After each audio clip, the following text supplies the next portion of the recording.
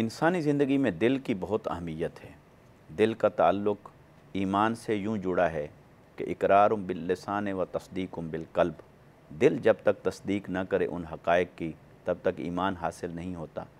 और इसी तरह दिल पर इंसानी ज़िंदगी का इन्हिसार है। तो जिस तरह जिस्मानी ज़िंदगी का इन्हिसार दिल पर है, इसी तरह हर इंसान की ईमानी ज़िंदगी का इन्हिसार भी दिल और उसकी कैफियत पर है। रूहानी ज़िंदगी का इन्हिसार भी कल्ब उसकी असलाह पर है। और ये असलाह कैसे होगी?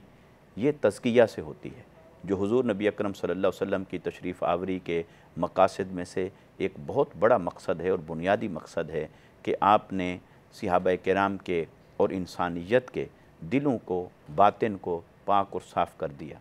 तो आइए आज हम ये अहद करें कि जैसे हम अपने जिस्मों को संवारते हैं आइए अपने दिलों को संवारना शुरू कीजिए।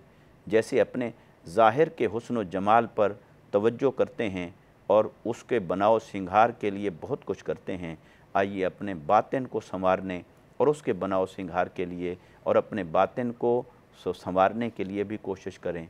बातिन कैसे संवरेगा? दिल कैसे संभलेगा? तभी संभलेगा जब इसका रिश्ता उस महबूब हकीकी से जुड़ जाएगा। और जब दिल अल्लाह की याद में मशगूल रहने वाला हो जाए और जब दिल अल्लाह की हर इतात और फर्मा बरदारी पर राज़ी हो जाए तो दिल को अल्लाह से जोड़िए, अल्लाह की इतात और मोहब्बत के साथ जोड़िए, ताकि ये दिल एक ऐसी बागडोर है कि जो महबूब हकीकी के पास चली जाए तो फिर इंसान की सारी ज़िंदगी की असलाह हो जाती है। अमल भी और आमाल और अकायद भी सब कुछ ठीक हो जाता है। आइए दिल की असलाह का सामान कीजिए।